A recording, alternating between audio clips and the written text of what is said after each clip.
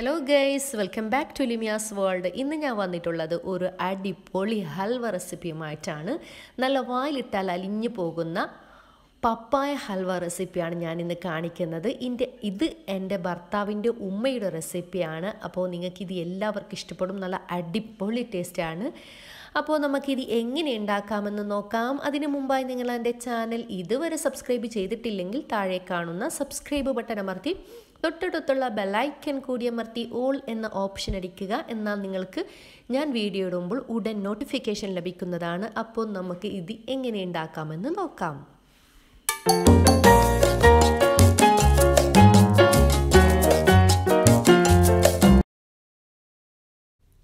അപ്പോൾ ഇതിനായിട്ട് ഒരു പപ്പായ എടുത്തിട്ടുണ്ട്. ഒരു പപ്പായ എന്ന് വെച്ചാൽ ഇത് ഒരു കിലോളം വരും.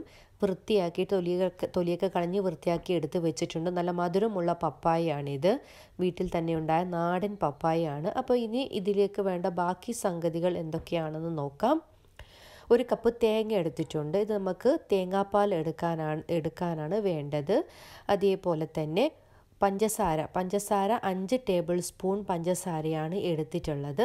അഞ്ചല്ല സോറി എട്ട് ടേബിൾ സ്പൂൺ പഞ്ചസാരയോളം എടുത്തിട്ടുണ്ട്. ഇനി നിങ്ങൾക്ക് മധുരം ഇപ്പോൾ പപ്പായ മധുരമുള്ള പപ്പായാണ് നല്ല അതുകൊണ്ടാണ് ഇത്ര എടുത്തിട്ടുള്ളത്. ഇനിയിപ്പോൾ നിങ്ങൾക്ക് പപ്പായയുടെ മധുരത്തിനനുസരിച്ച് പഞ്ചസാര ചേർക്കാം. അതേപോലെ തന്നെ കൂടുതൽ മധുരം വേണ്ടവർക്ക് പിന്നീട് നോക്കി വേണമെങ്കിൽ ചേർത്ത് കൊടുക്കാം. അതേപോലെ അരക്കപ്പ് കോൺഫ്ലവർ എടുത്തിട്ടുണ്ട്. അരക്കപ്പിന്റെ അതിൽ അരക്കപ്പാണ് എടുത്തിട്ടുള്ളത്. ഒരു സ്പൂണ് പച്ചരി എടുത്തിട്ടുണ്ട്. ഇത് നമുക്ക് തേങ്ങാപ്പാൽ എടുക്കുമ്പോൾ കൂടെ ചേർക്കാനുള്ളതാണ് ഈ പച്ചരി.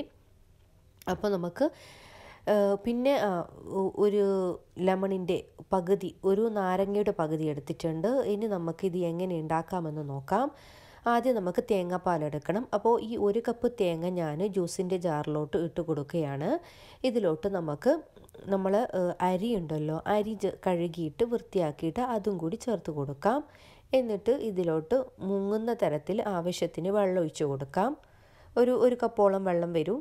ആദ്യം ഒഴിക്കുന്ന വെള്ളം അരി കഴുകിയ ഉള്ള അരിയുടെ വെള്ളവും അതേപോലെ തന്നെ ബാക്കിയുള്ള വെള്ളവും ഒഴിച്ചു കൊടുത്തപ്പോൾ ഒരു കപ്പോളം വെള്ളം വരും. എന്നിട്ട് ഇതിനെ നമുക്ക് നന്നായിട്ട് അരച്ചിട്ട് തേങ്ങാപ്പാൽ എടുക്കാം. അപ്പോൾ തേങ്ങാപ്പാൽ അരച്ചിട്ട് തേങ്ങ പിഴിയാൻ നമുക്ക് തേങ്ങാപ്പാൽ ഇതുപോലെ എടുക്കാം. തേങ്ങ പിഴിഞ്ഞിട്ട് അതേപോലെ തന്നെ ജ്യൂസിന്റെ ജാറിലോട്ട് ഇച്ചിരിയും കൂടി ഞാൻ വെള്ളം ഒഴിച്ച് കൊടുത്തിട്ടുണ്ട്. അതും കൂടി നമുക്ക് ഇതിലോട്ട് ഒഴിച്ചു കൊടുക്കാം. അപ്പോൾ ഇനി ഇത് നന്നായിട്ട് പിഴിഞ്ഞ് എടുക്കാം നമുക്ക്. ഈ തേങ്ങാപ്പീര കളയരുത്. നമുക്ക് രണ്ടാം തേങ്ങാപ്പാലും കൂടി എടുക്കാനുണ്ട്. അപ്പോൾ ഒന്നാം തേങ്ങാപ്പാൽ ഇത്രയോളം കിട്ടിയിട്ടുണ്ട്. ഇനി നമുക്ക് രണ്ടാം തേങ്ങാപ്പാൽ എടുക്കണം. ഇതേ പീര നമുക്ക് ജ്യൂസിന്റെ ജാറിലോട്ടിട്ട് കുറച്ചും കൂടി വെള്ളം ഒഴിച്ചിട്ട് നമുക്ക് തേങ്ങാപ്പാൽ പിഴിഞ്ഞെടുക്കാം. അപ്പോൾ മുക്കാ കപ്പോളം രണ്ടാം തേങ്ങാപ്പാലും കൂടി കിട്ടിയിട്ടുണ്ട്. ഇത് നമുക്ക് മാറ്റി വെക്കാം. ഇനി ഞാൻ അടുപ്പത്തൊരു പാൻ വെച്ചിട്ടുണ്ട്. ഇതിലോട്ട് നമ്മുടെ പഞ്ചസാര ഇട്ട് കൊടുക്കാം. ഈ പഞ്ചസാര നമുക്ക് അലിയിച്ചെടുക്കണം. ഇതിലോട്ട് ഒരു ടേബിൾ സ്പൂൺ വെള്ളം കൂടി ചേർത്ത് കൊടുക്കാം. പഞ്ചസാര അലിയാൻ വേണ്ടിയിട്ട്. കൂടുതൽ വെള്ളം ഒഴിച്ച് കൊടുക്കരുത്. ഇത് നമുക്ക് നന്നായിട്ട് അലിഞ്ഞ് തിക്കായി കിട്ടണം. അപ്പോൾ പഞ്ചസാര നന്നായിട്ട് അലിയും വരെ ഇത് നന്നായിട്ട് ഇതുപോലെ ഇളക്കി കൊടുത്തോണ്ട് വേണം. കൈ എടുക്കാതെ ഒന്ന് ഇളക്കി കൊടുക്കണം.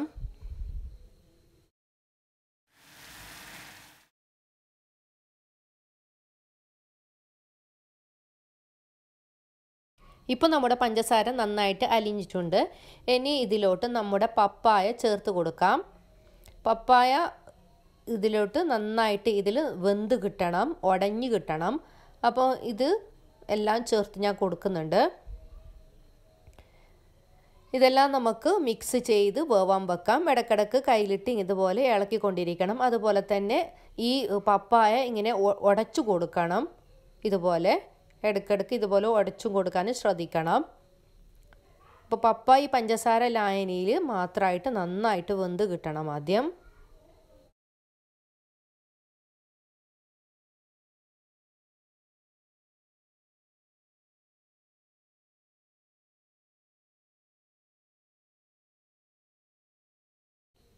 അപ്പോൾ പപ്പായ നന്നായിട്ട് ഇതുപോലെ ഒന്ന് ഉടഞ്ഞു വരുമ്പോൾ നമുക്ക് ഇതിലോട്ട് ഏലക്ക പൊടി ഒന്ന് ചേർത്ത് കൊടുക്കാം. ഞാനിവിടെ ഒരു ടീസ്പൂണോളം ഏലക്കപ്പൊടി എടുത്തിട്ടുണ്ട്. ഇത് നമുക്ക് ചേർത്ത് കൊടുക്കാം. പപ്പായ ഇനിയും നന്നായിട്ട് ഉടഞ്ഞു വരേണ്ടതുണ്ട്. അതുകൊണ്ട് ഇതുപോലെ ഇനിയും ഇളക്കി കൊടുത്ത് നന്നായിട്ട് വേവിക്കണം.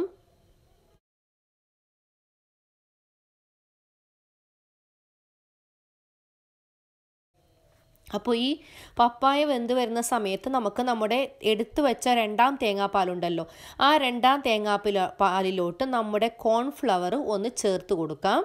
എന്നിട്ട് നന്നായിട്ട് ഈ കോൺഫ്ലവർ മിക്സ് ചെയ്ത് എടുക്കണം കട്ട വരുന്ന പോലെ ആവാൻ പാടില്ല.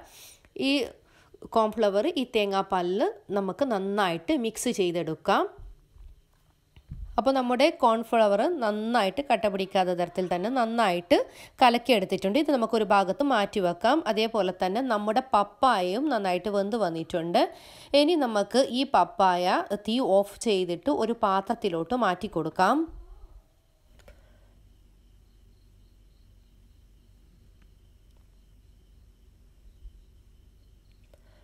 അപ്പോൾ ഇനി ഇതേ പാനിലോട്ട് നമുക്ക് നമ്മുടെ രണ്ടാം തേങ്ങാപ്പാൽ കോൺഫ്ലവറൊക്കെ ഒഴി കലക്കി വെച്ച രണ്ടാം തേങ്ങാപ്പാൽ ഒരു അരപ്പ് വെച്ചിട്ട് ചേർത്ത് കൊടുത്തിട്ട് ഒന്ന് തിളപ്പിക്കാം. അത് തിക്കായി വരുമ്പോൾ ഒന്നാം തേങ്ങാപ്പാലും കൂടി നമുക്ക് ചേർത്ത് കൊടുക്കാം. അത് നന്നായിട്ട് നമുക്ക് തിളപ്പിക്കാം. ചെറിയ തീയിൽ വെച്ചിട്ട് കൈ ഇള കയ്യിലിട്ട് ഇളക്കിക്കൊണ്ടേ വേണം. ഇളക്കിക്കൊണ്ടേ ഇരിക്കണം. അപ്പോൾ തിക്കാവുന്നത് വരെ ഈ ഈ പാനിൽ നിന്ന് വിട്ടു പോരുന്നത് വരെ നമുക്കിതൊന്ന് ഇളക്കി കൊടുത്തോണ്ടേ വേണം. ഈ പാനിൽ ഇപ്പോൾ നമുക്ക് കട്ട കട്ട കട്ടായിട്ട് കാണുന്നത് അത് നമ്മൾ നമ്മൾ നേരത്തെ ഈ നമ്മുടെ പപ്പായ മാറ്റുമ്പോഴുണ്ടായിരുന്ന പപ്പായയുടെ ബാക്കി കാണ പാനിൽ ഉണ്ടായിരുന്ന സംഭവങ്ങളാണ് കാണുന്നത് പപ്പായയുടെ. ബാക്കി എന്താ പറയുക അവശേഷിച്ച സംഭവങ്ങൾ. ഓക്കെ? അപ്പോൾ ഇത് നന്നായിട്ടിപ്പോൾ തിക്കായി വരുന്നുണ്ട്. ഇനി ഇതിലോട്ട് നമുക്ക് ഒരു ചേരുവ ഞാൻ നേരത്തെ പറയാൻ വിട്ടിരുന്നു. നെയ്യ് ചേർക്കാനുണ്ട്. അപ്പോൾ ഞാൻ ഇതിലോട്ടിപ്പോൾ മൂന്ന് ടേബിൾ സ്പൂൺ നെയ്യ് ചേർത്ത് കൊടുക്കുന്നുണ്ട്. ഈ മൂന്ന് ടേബിൾ സ്പൂൺ നെയ്യ് ഈ ഒരു പരുവാകുമ്പോൾ നമുക്ക് ചേർത്ത് കൊടുക്കാം.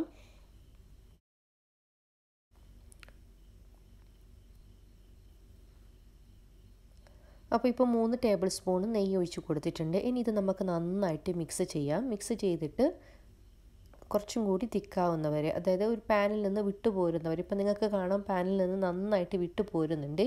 ഈ ഒരു സമയമാവുമ്പോൾ നമുക്ക് ഇതിലോട്ട് നമ്മൾ നേരത്തെ നാരങ്ങ കാണിച്ചിരുന്നാൽ ഒരു നാരങ്ങയുടെ പകുതിയാണ് കഴിച്ച് കാണിച്ചത്. പക്ഷേ ആ അത്ര വേണ്ട. അതിൽ നിന്ന് കുറച്ച് നീര് നമുക്ക് ഇതിലോട്ട് ഒഴിച്ചു കൊടുക്കാം ഈ സമയമാകുമ്പോൾ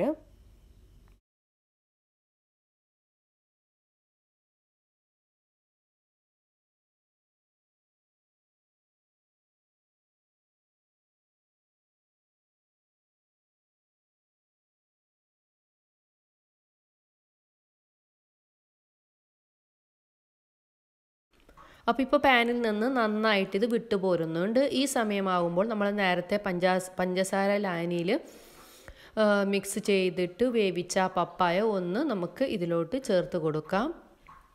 ഇനി ഇത് നന്നായിട്ട് നമുക്ക് മിക്സ് ചെയ്ത് കൊടുക്കാം.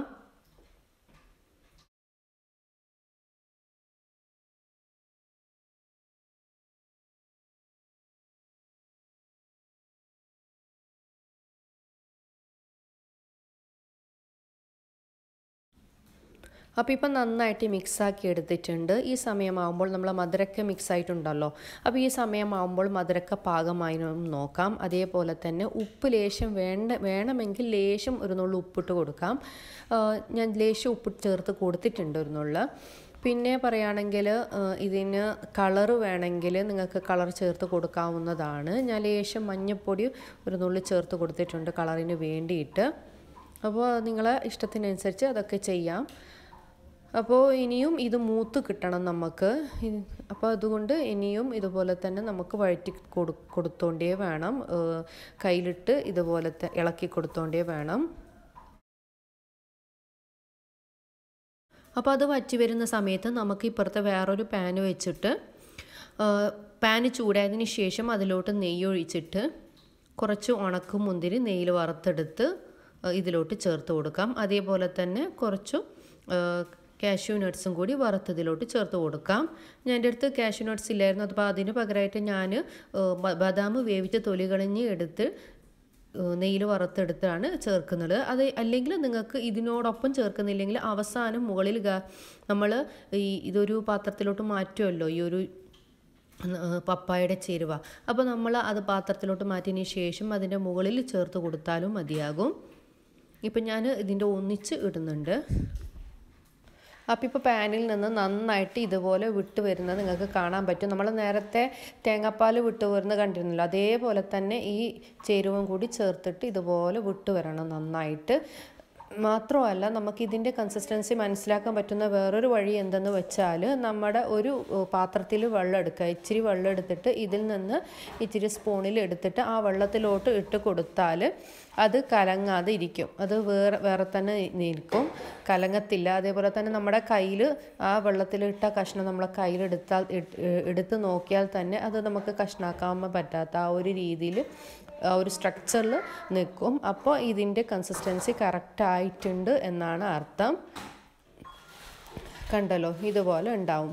അപ്പോൾ ഇപ്പോൾ നമ്മുടെ ഈ ഒരു ചേരുവയുടെ വേവ് കറക്റ്റ് ആയിട്ടുണ്ട്. ഇനി നമുക്കിത് പാത്രത്തിൽ നിന്ന് ഒരു കണ്ടെയ്നറിലേക്ക് മാറ്റാം. ഒരു ട്രെയിലോട്ട് മാറ്റി വെക്കാം.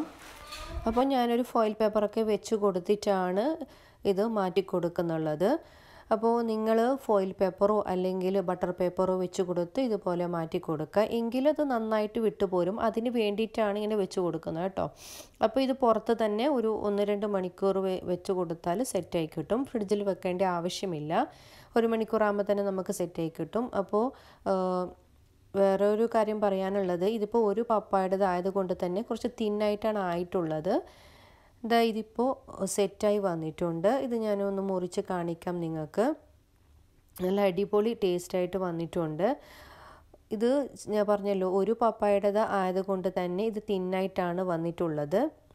അതേപോലെ തന്നെ ഞങ്ങൾ ഇത് കഴിഞ്ഞ് അതായത് ഇതിന്റെ ടേസ്റ്റ് വളരെ നന്നായി ടേസ്റ്റ് ആയതുകൊണ്ട് വീണ്ടും കഴിക്കാൻ ആശയായിട്ട് ഇത് ഞങ്ങൾക്ക് മതിയായില്ല വീണ്ടും കഴിക്കാൻ ആശയായിട്ട് പിറ്റേ ദിവസം മൂന്ന് പപ്പായയുടേത് ചെയ്തിരുന്നു. ആ പപ്പായ ചുവന്ന പപ്പായ ആയിരുന്നു അപ്പോൾ ഈ മൂന്ന് പപ്പായയുടേത് ചെയ്തത് കൊണ്ട് തന്നെ അത് കുറച്ച് തിക്കായിട്ട് തന്നെ വന്നിട്ടുണ്ട് നല്ല കാണാനുണ്ട്.